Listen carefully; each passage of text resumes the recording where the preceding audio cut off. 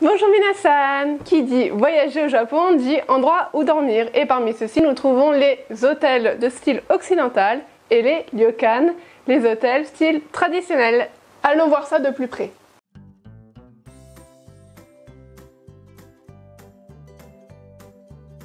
Si vous devez loger à la capitale, vous vous rendrez vite compte, à Tokyo, les chambres sont très petites. Et si vous voulez avoir de la place ne serait-ce que pour ouvrir vos valises, il faudra débourser.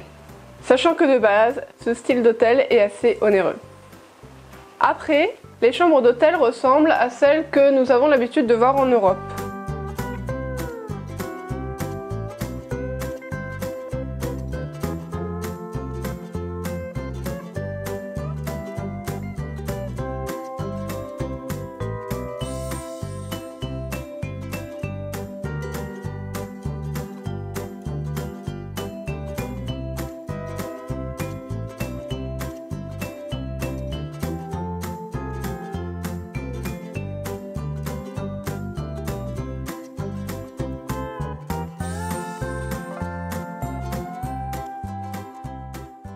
Dans ces hôtels, les salles de bain sont optimisées pour être les plus petites possibles. Si vous avez une chambre avec une salle de bain privative, elle sera forcément minuscule. Mais pour vous consoler, vous aurez des toilettes Toto high-tech. Célèbres pour leurs boutons sur le côté qui permettent de nettoyer le popotin après la petite affaire. Vous pourrez régler de l'inclinaison de l'eau à la température. Certains ont même l'option siège chauffant. Sympathique en hiver. Au Japon, pas de douche.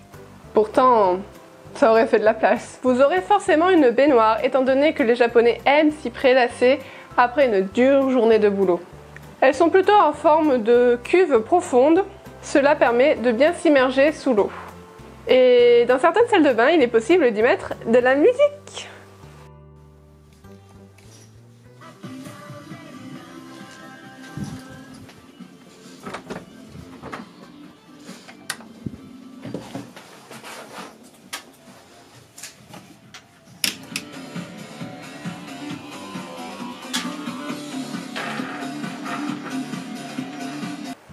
Certaines salles de bain ont cette forme, les lavabos et les toilettes d'un côté, puis le coin baignoire-douche de l'autre, qui ressemble à ça, avec un tuyau de douche à l'extérieur de la baignoire.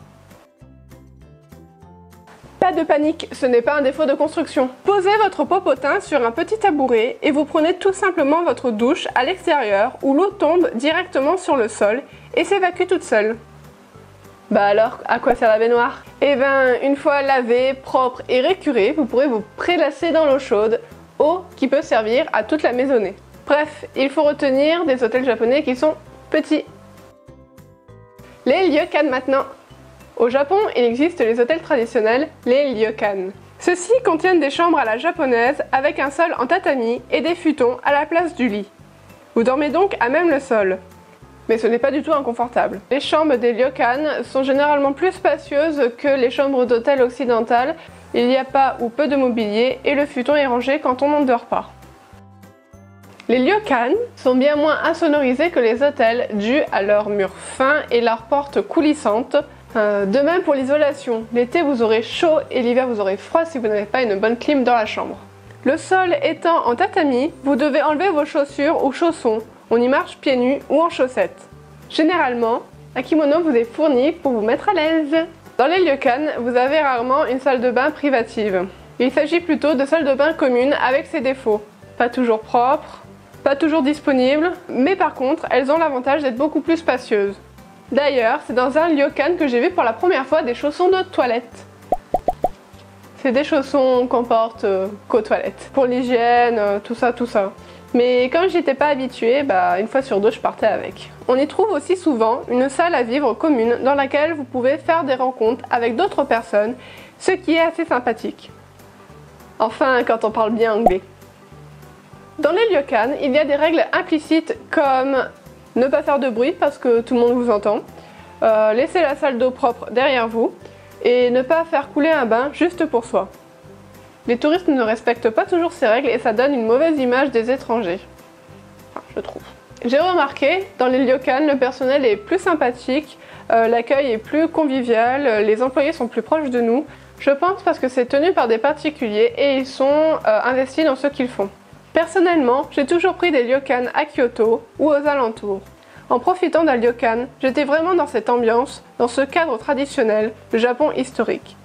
Pour moi, même une nuit, c'est une expérience à faire. Prendre un bon bain relaxant à la japonaise et dormir sur des tatamis dans un bon futon. Généralement, euh, le prix des ryokan est plus élevé que celui d'un hôtel. Après, tout dépend toujours du nombre d'étoiles de votre logement, euh, de combien de temps vous l'avez pris en avance, euh, si votre petit déjeuner est compris, etc. Pour ma part, j'ai toujours réservé sur Booking. C'est sécurisé, il y a souvent des promotions et on a directement l'avis des gens sur le site.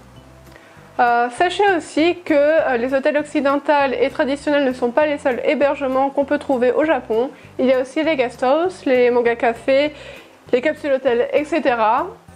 Peut-être que ça fera l'objet d'une autre vidéo. Et voilà, c'était la première vidéo où je vous parle directement. Surtout, n'hésitez pas si vous avez des questions à me les poser directement en commentaire en dessous. J'y répondrai avec plaisir. En attendant, bah, je vous dis à bientôt. Tiens